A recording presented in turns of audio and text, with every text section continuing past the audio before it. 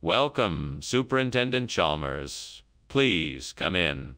The coconut meat is cooking, but it's not quite ready yet. Thank you, Agnes.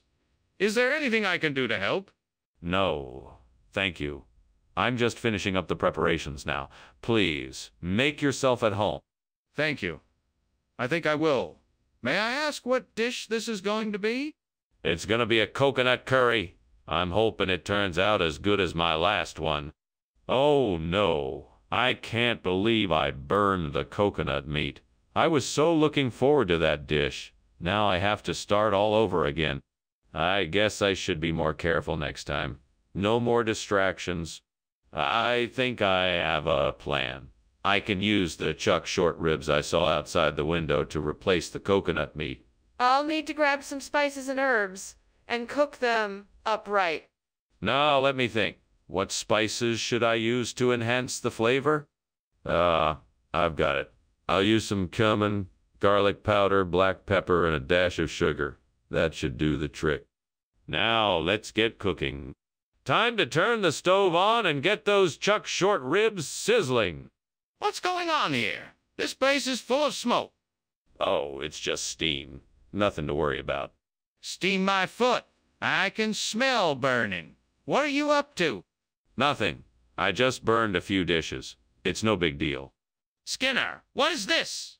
Uh, this is the latest food sensation I've discovered from Thailand. It's called chuck short ribs, the most succulent and flavorful meat you'll ever taste.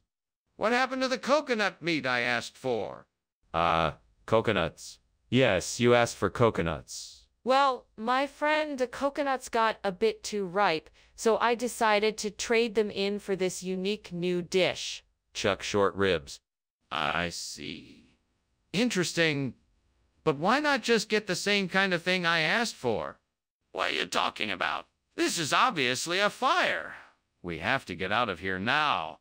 No, no, no, it's not a fire. It's probably just bioluminescence. We'll be fine. There's no need to panic. No, it's definitely a fire. We've got to get everyone out of the building before it's too late. Please listen to me. No, there's no need to worry. It's natural. It's nothing to be concerned about. There's no fire here, just bioluminescence. What are you talking about? Listen to me. This is a fire and it's getting bigger. We need to evacuate now. Mr. Skinner, I must thank you for the wonderful lunch. I must be going now, but the house appears to be on fire. Oh, why thank you, Dr. Chalmers. That's just the bioluminescence we've installed in the living room. It's quite beautiful, isn't it?